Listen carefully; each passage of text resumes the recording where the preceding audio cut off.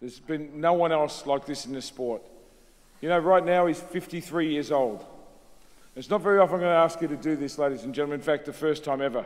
But I think we've got to pay tribute to this man.